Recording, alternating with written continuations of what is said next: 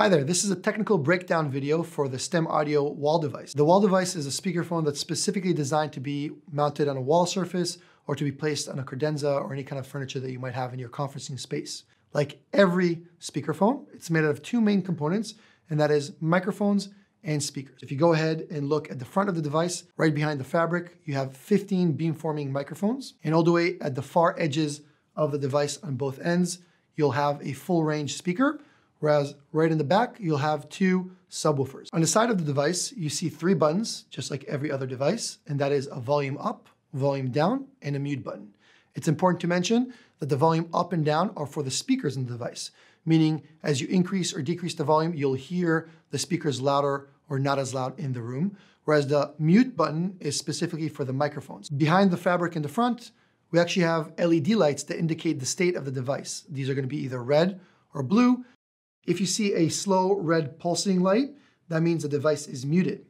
If you see a rapid red pulsing, it means the device is being pinged. Solid red line means the device has an error. Single blue light moving from, right to left means the device is booting up.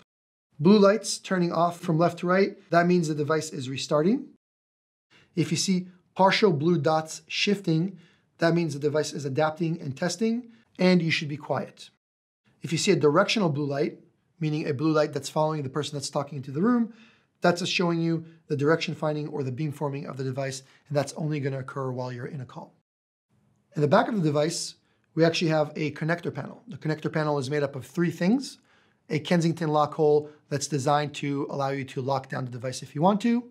A USB-B connector that allows you to plug this device directly into a PC in case you want to use this as a standalone device and don't need to use other devices in the room. And then finally, the most important, we have an RJ45 or an Ethernet connector that's designed both for data, management, and most importantly, power. That's why it's very important that when you plug this into a wall socket, you know that that wall socket supports PoE+. If it does not, you can just use a PoE Plus injector and that should do the trick for supplying the device with power. To install the device, all you need to do is bring it into the room, place it or mount it to the location that you want to use the device, and then plug the device into a wall socket that supports PoE Plus and wait for the device to boot up. And when it's booted up, you're now ready to actually install this into the room. To learn how to do that, we're gonna actually talk about that in section two. But other than that, you're good to go. Thanks for watching.